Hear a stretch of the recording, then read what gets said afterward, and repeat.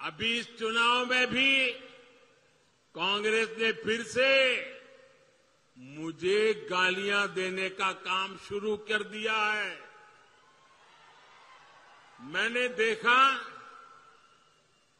किसी ने उन गालियों की लिस्ट बनाई है और वो गालियों की लिस्ट मुझे दी है।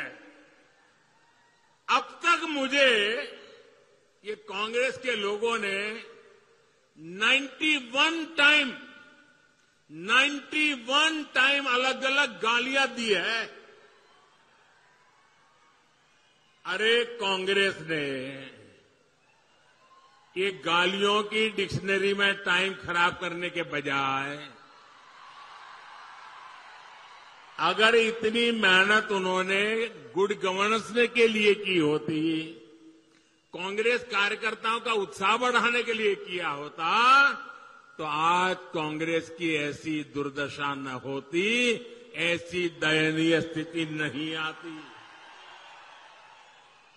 लेकिन साथियों, जो भी गरीब के लिए काम करता है, जो देश के लिए काम करता है, उसे अपमानित करना, ये कांग्रेस का इतिहास है। मैं अकेला नहीं हूँ, जिस पर इस तरह के हमले किए गए। आपको मालूम है, पिछले चुनाव में चौकीदार चोर चलाया, फिर आगे बढ़ गए, मोदी चोर चलाया, फिर पूरा ओबीसी समाज चोर है चलाया। और अभी तो चुनाव की शुरुआत हुई कर्नाटका में, और मेरे लिंगायत भाइयों बहनों को भी चोर कहने की हिम्मत कर कांग्रेस के लोग कान खोल करके सुन ले। आपने जब जब जिसको गाली दी है, उन्होंने आपको ऐसी सजा दी है, ऐसी सजा दी है, आप दोबारा खड़े नहीं हो पाए हैं। इस बार कर्नाटका में भी ये गाली का जवाब, इनके सम्मान पर जो चोट पहुँची है उसका जवाब वोट से दिया जाएगा। वोट से दिया जाएगा। भाइयों बहनों, जब ये लोग मुझे गाली देते हैं, अब इतनी गालियाँ हो गई 91 और उनके टॉप मोस्ट नेता देते रहे कोई ऐसे नहीं छोटे मोटे कार्यकर्ता नहीं।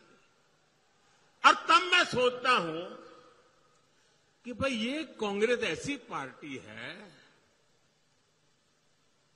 उसने तो संविधान निर्माता बाबा साहब आंबेडकर को भी ऐसी ऐसी गालियाँ दी थी, बाबा साहब को भी छोड़ा नहीं था।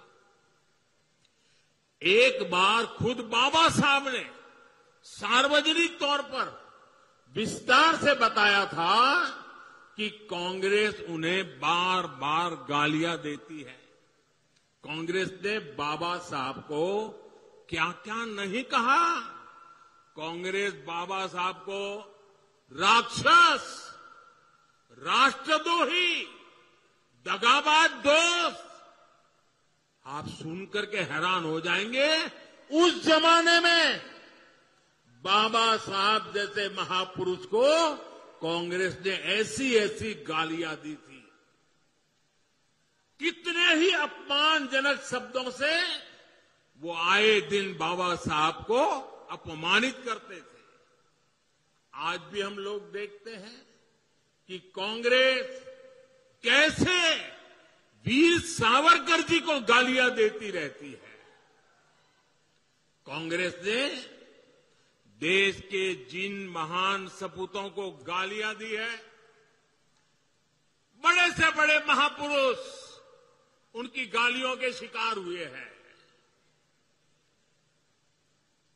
और जब ये सब मैं देखता हूँ तो मुझे लगता है, चलिए कांग्रेस भी मुझे इतना, उन लोगों की तरह सम्मान देती है।